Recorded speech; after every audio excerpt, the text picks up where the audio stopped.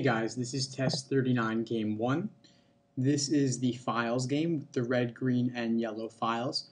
I've laid out a bunch of stuff here, but don't worry, I'm going to explain all of that. We've got the red HMO, we've got the green PVX, and the yellow T and Z. I've laid out all the rules to the left here. H is before O, but not immediately before O, so HO can never occur consecutively. X is before V, but X and V are never consecutive they tell us that h, the number of spaces between h and o is equal to those between x and v. So I put h before o equals x before v, just to remind myself of that rule, that they are equal in terms of spacing. Then finally, you know, we got z is, is immediately before m, so I've got zm with a box around it. Then the last rule I put on the diagram itself, we never have any of h, m, and o on the first slot because they are the red files. I've laid out a bunch of other restrictions as well, which I'm going to explain. We know that H has to go before O, therefore H cannot be last and O cannot be first. But because they cannot be immediately in that order, H also cannot be seventh because we are, cannot have O eighth because they cannot be consecutive. So if H was seven, O would have to be nine or later, but of course there is no nine or later. Similarly, O cannot be second because that would H require H to be zero or earlier, and of course there is no zero. Same with x before v. v cannot be uh, v cannot be first and x cannot be last. Also, v can't be second and x cannot be seventh, because if x was seventh, v would be nine or later, which doesn't exist, and if v was second, x would have to be zero or earlier, which does not exist. So this is our bare bones initial setup for the game. Of course, z is not 8, m is not 1, because z must go before m immediately. So that's our initial setup for the game you don't necessarily need to have drawn all of these restrictions. You could have just drawn HMO not on one. I chose to draw more just to give you a sense of what that might look like. Now, question number one is a typical orientation question. You just want to take one rule at a time and apply that rule to all five choices looking for violations.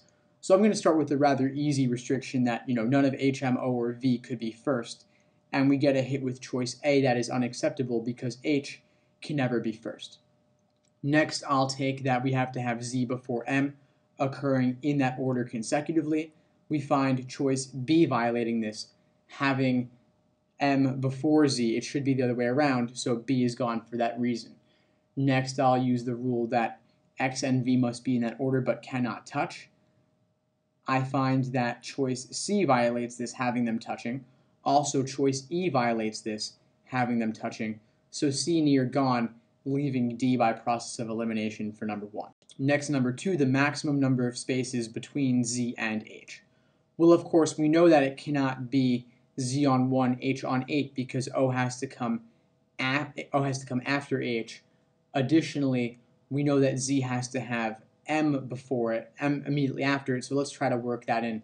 We can even draw a little diagram. Of course, to reach the maximum, we're going to want to put z on 1. We can't put h on 1 because h is never on 1 due to the rule regarding red files. So I'm going to put z on 1, which requires m on 2 because they have to be consecutive. Then I'll put o as late as possible in order to allow h to be as late as possible. So I will put o on h. Remember, h and o cannot be consecutive.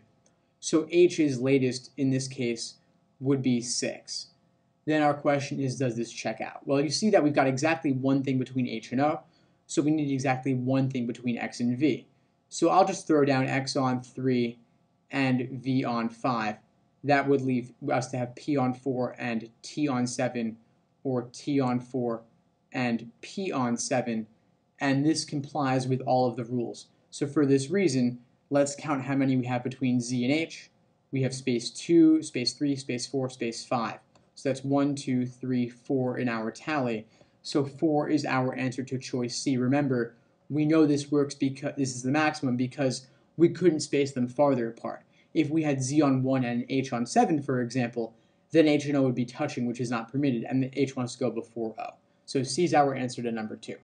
Next, number 3, if each of the three reds is immediately followed by a green. So we've got, you know, red, immediately before green touching, of course, those are not actual variables, those are just the categories, then which slot must be a yellow file? Well, we know red can't be on 1, and so if we were going to have green immediately after it, we know, of course, that green cannot be on 1 or 2. Now our greens are P, V, and X. We already know that V cannot be 1. This is now telling us that P and X cannot be 1 either. Additionally, of course, we're learning that P and X cannot be 2 either. So our most restricted space right now is space number 1. We have all of these guys, H, M, O, P, V, X, which is basically all the reds and all the greens can't be on 1, leaving the yellows to be on 1. So we automatically infer that 1 will have to be either T or Z. So of course, choice A, the first, is our answer to number 3. So they're asking us in number 4 for the maximum number of things that could be between X and V. Of course, we can't have X on 1 and you know V on 9. So for that reason, 7 slots, 2, 3, 4, 5, 6, 7, 8 does not work, and E can automatically be eliminated. That'd be, you know, having X on 1 V all the way down here, that's what you would need to do, something like that, in order to have one, two, three, four, five, six, seven things between X and V. So for that reason, E is gone. Now, if we had six things between them, that would be X on 1 and V on 8. Our 6 would be 2, 3, 4, 5, 6, and 7. But then how could we have H and O be equal to that in terms of spacing? We'd have to have H on like 0 and then O on 7, but of course there is no 0. We can't have H on 2 and O on 9. So for that reason, 6 is not going to work either, and D is gone. But now that we've gotten those two things out of the way, having five things between them actually becomes pretty possible. It becomes likely, it becomes possible. We could have X on 1 and V on 7.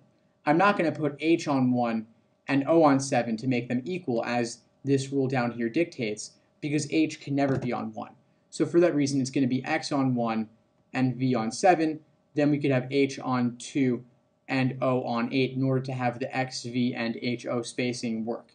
Then just to prove that this scenario is possible, I can throw down z and m, those two guys consecutive on 3 and 4, and then have p on 5 and t on 6, or t on 5 and p on 6. Of course, there are no rules regarding these variables as far as this area goes. So this proves it works perfectly fine as a maximum, so C is our answer to number 4.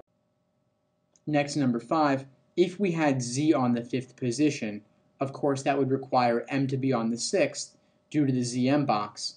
And then after that, nothing else is really that determined. Things are still pretty open-ended, but this is actually enough to get us through the question, believe it or not. So they're, ask, uh, asking us, what could be H's position? Well, we automatically know that H cannot be any of 6, 7, or 8. It can't be 7 or 8 by default, initial rules of the game. H also cannot be 6 due to the presence of M on 6 now, as a result of Z on 5.